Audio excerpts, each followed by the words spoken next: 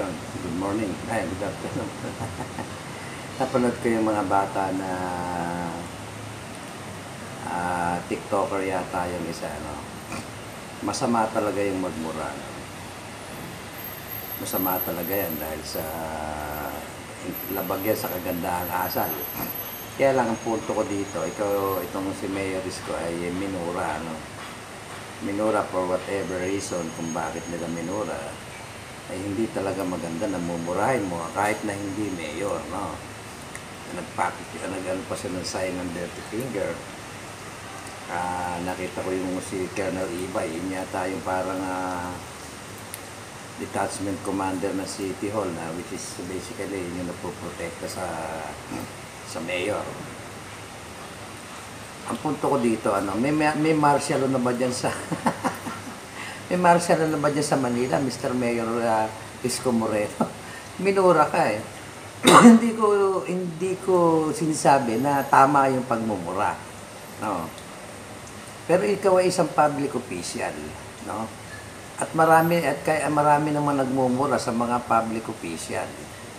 Eh bakit ah, parang ah, para na kayong hindi masaling diyan na mayor ka pa lang eh ito namang mga bata mo kagad ah, sinita o inimbitahan o sumuko o ka- kahit sa paano para nagpunta para ini-intimidate. Hindi na ba kayo pwedeng hindi na ba pwedeng ah, pagsalitaan ng hindi maganda si Mayor Isko?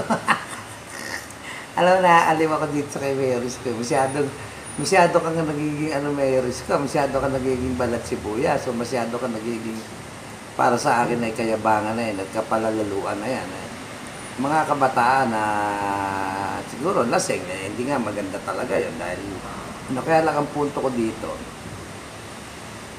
as a public official ay dapat nakahanda ka sa mga bagay na kay masama kay mabuti na ibabato sa iyo ng mga pananalita. Pero never mong nga gagamitin yung kapangyarihan mo para lang supilin kung ano yung gusto nilang sabihin. Di ba?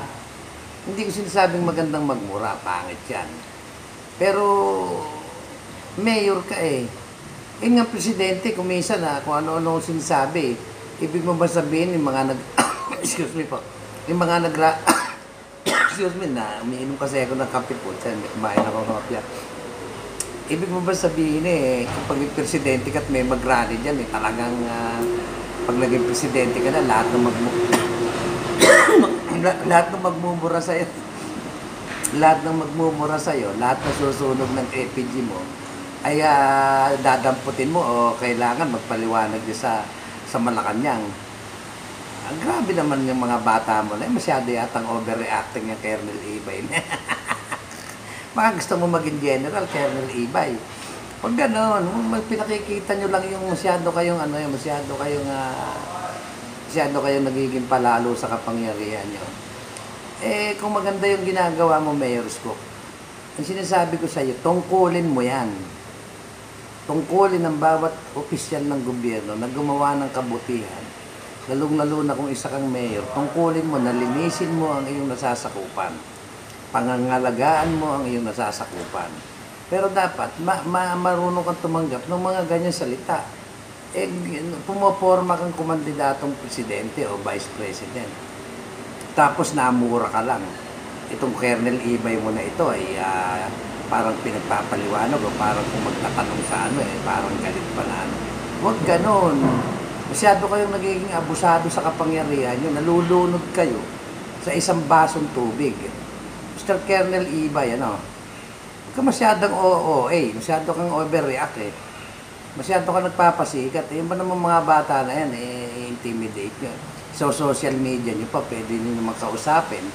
At ah, nang hindi naka-media, eh, sasabihin pa nung kasama mo dyan, pasisikatin. Huwag ganon, eh, nagkamali na yung tao, tapos eh, i-expose nyo pa eh, mga kabataan yan. Anong, anong klase yung, ah, ano ang uh, sinasalarawan nyo dyan o gusto nyo palabasin? Na kayo ay hindi pwedeng pagsalitaan si Mayor ng masama dahil nandyan yung isang Colonel Ibay, nasisitahin kayo at ilalagay kayo sa social media eh pwede nyo naman kausapin yan in personal para kung talagang di totoo kayo na ano, at kinausap nyo na lang ng personal yan, hinihiya nyo pa yung tao. Eh bata nga, eh, sabihin, kung talaga nagmamalasakit kayo dyan, dapat huwag nyo nang dali sa social media, eh, bayaan nyo pa. Ipopost nyo pa sa YouTube, tapos ihiyain nyo yung tao. Eh, nagkamali na nga yung mga bata. Ano, ipinakikita nyo rito, kayo ang batas. Ikaw, Colonel Iba, yung tigasin dyan dahil bata-bata ka ni Isko. Pag naging presidente si Isko Moreno, nakakatakot ka, Colonel Iba. eh. Ay, yung mga, mga, yung mga pumaporma dyan ng presidente. Pagmasdan nyo, yung, yung ugali nitong ah, mag-among Colonel Ibay na ito at Isko Moreno. Pwede nyo yung hindi ilagay sa social media kung talagang totoo kayo. Na ano, ba't nyo sisirain nyo yung, yung ah, ano nung, nung mga kabataan? Eh, paano ngayon yan? Hindi ko ibuli-buli ngayon yan, kasalanan nyo. Paano kung makita ngayon yan ng mga supporter ni Mayor Isko na diehard uh, supporter ni Mayor Isko at saktan ngayon yung mga bata na yan? Pwede na naman siya hindi ilagay sa social media eh. Kung talagang may, may utak kayo, wala rin kayong utak ni Isko Moreno tsaka ikaw, Colonel Ibay, wala kayong utak eh. Nilalagay nyo sa kapahamakan yung bata eh, nagkamali na nga eh. Ang tanong ko ngayon, paano kung merong makakilala dyan na taga Maynila na diehard supporter ni Mayor Isko at nagalit doon sa pagmumural na kay Mayor Isko at ayan ay ah, saktan, anong magagawa nyo? Hindi ba naman kayo mga gago mag-amo? Gago kayong dalawa eh. Oo, gago kayong dalawa.